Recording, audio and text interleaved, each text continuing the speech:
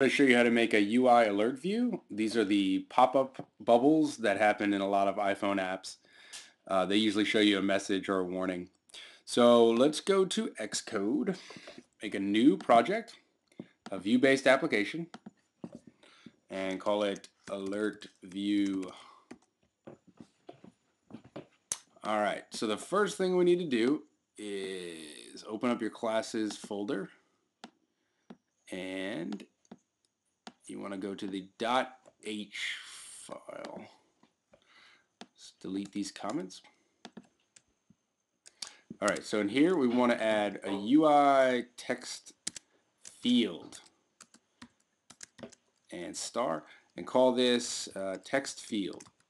And remember, uh, Xcode or Objective-C is uh, cap sensitive. So the uh, lowercase has to be lowercase. So the UI text field, that's where we're going to type in uh, a little message that'll pop up in the pop-up window. Uh, do property, non-atomic, retain. Uh, we need to make this an IB outlet.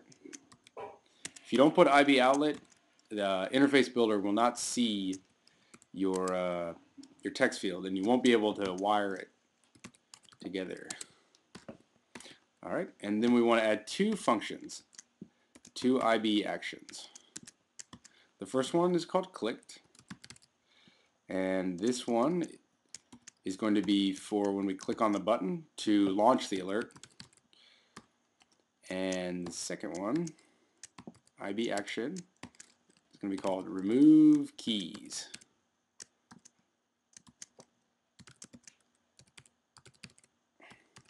Okay, great.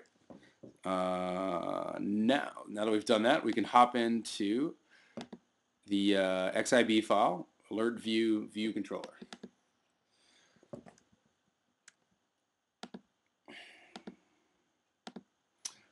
All right, so within here, we're going to build our interface.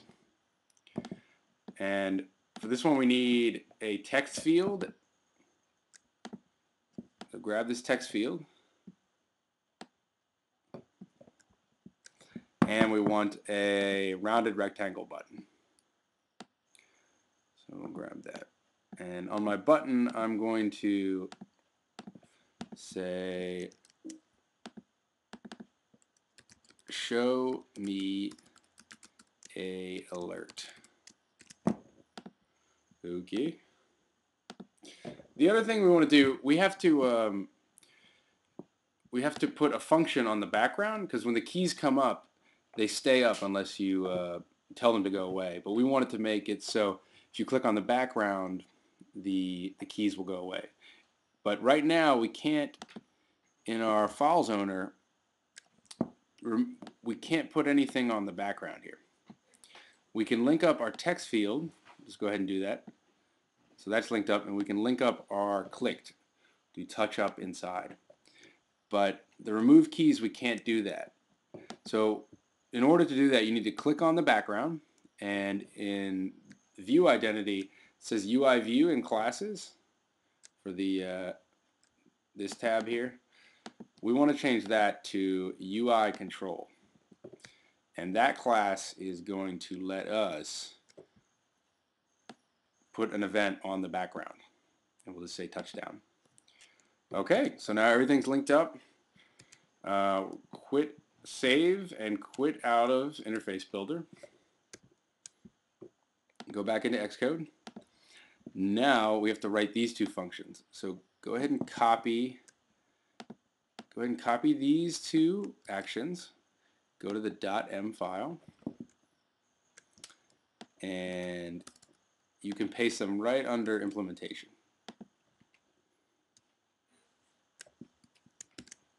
Add the curly brackets to each of these functions.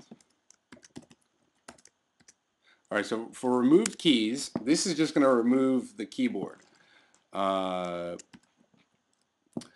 we want to write text field resign first responder, and that's going to hide the keys when someone clicks on the background.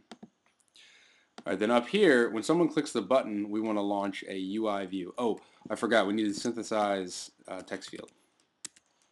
So now the text field's been synthesized. And so this is a new thing. This is a UI alert view.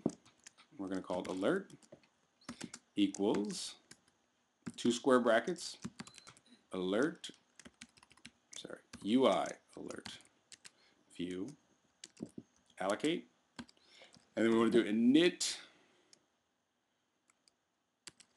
Uh, that's not it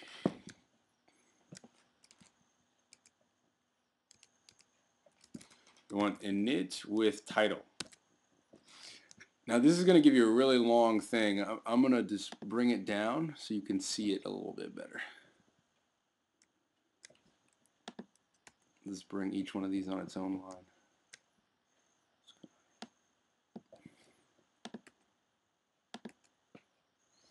Alright, so what's going on here?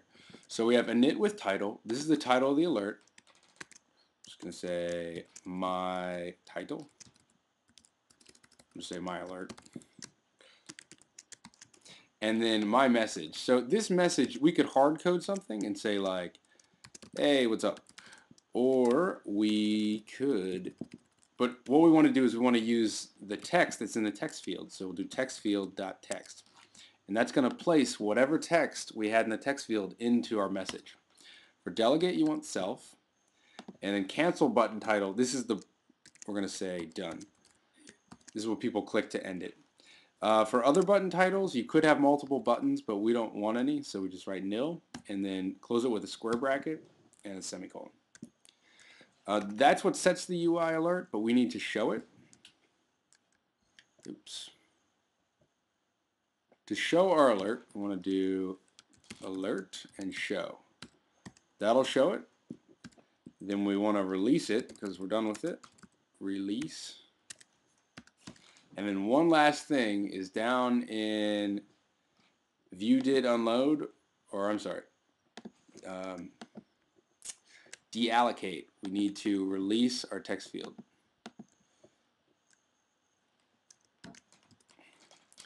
Text field release. This releases the memory.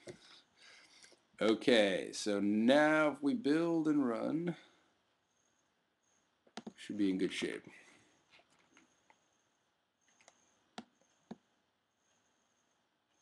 So I'll type some.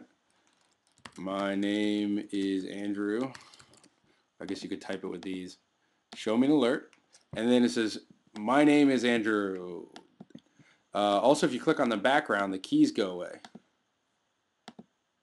So when you click on that, the keys pop up. But if you click on the background, the keys go away. But you can write whatever you want in here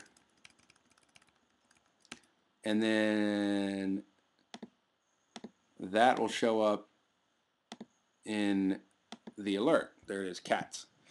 So we're taking the text in the text field and putting it in our alert. And then we also learned how to hide the keys. Great job.